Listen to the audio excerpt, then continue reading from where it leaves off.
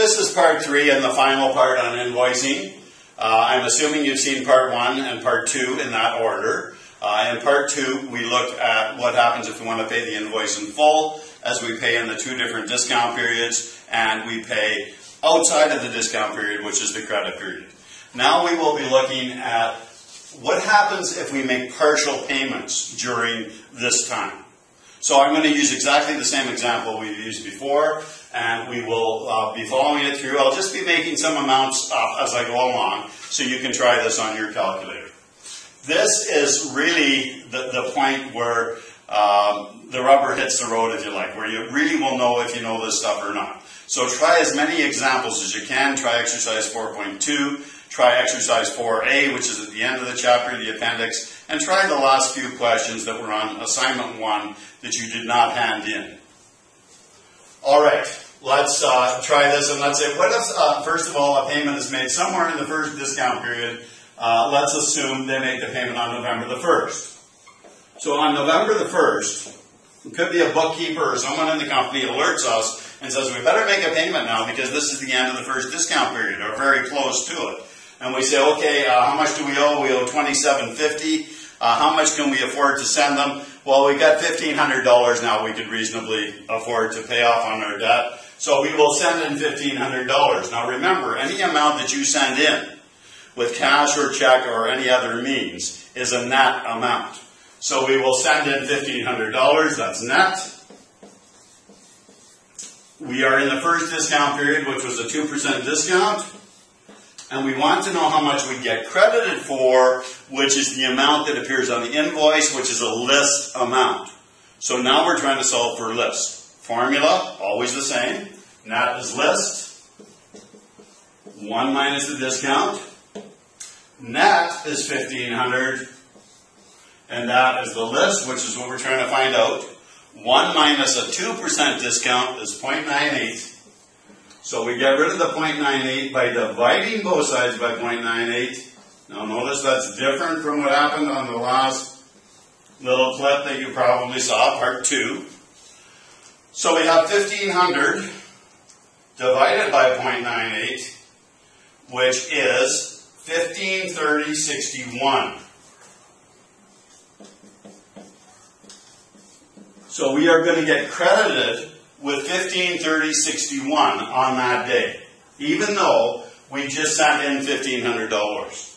So we get uh, credited with 1530.61. Now we owe the difference between the original balance 2750 and the 1530.61. Do that on your calculator to make sure I'm not making a mistake if for no other reason. And I'm getting 1219.39. I have a real issue now with the um, space on this whiteboard, uh, but I'll try and pursue this for you uh, as well as I can. Now we owe now 1219.39. We now would we have to pay that off at some point. So the bookkeeper might alert us on November the 12th or somewhere around then and said, this is now the end of the last discount period, the last time we can get a discount, so we better send some money in. So let's say we're making a payment on November the 12th. Now remember, we still owe 1219.39. So on November the 12th, we say, okay, how much money can we afford to send in? And they say, well, let's send in $1,000. Let's try and almost pay it off. So we're sending in $1,000, that's net. The last discount period is uh, 0.015. We want to know what we'll get credited with. That is a list amount.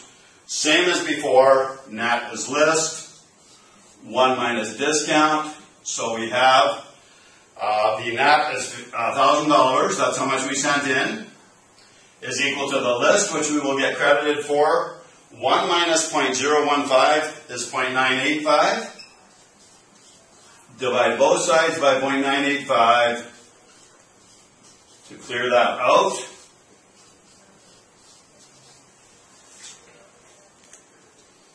So we've got 1,000 divided by 0.985, and we will get credited with 1015.23.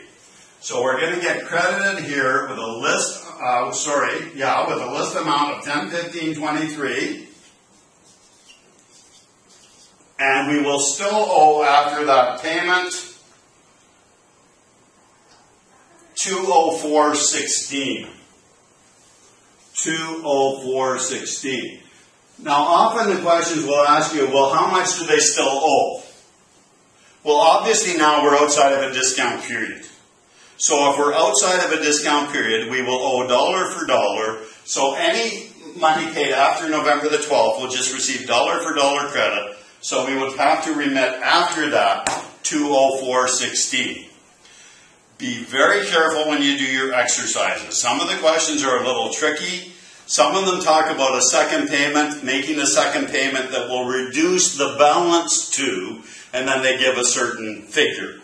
Now that gets a little tricky and you really have to think it out. If it's reducing the balance to a certain figure, you'd have to figure out how much they got credited with on that payment, and then you'll work backwards into the formula to figure out how much they must have remitted. So just be careful. We can't cover everything on these little clips, but hopefully this is enough to get you started uh, and to gain an understanding of this topic. The topic is very important. I can guarantee you it will appear on final exams.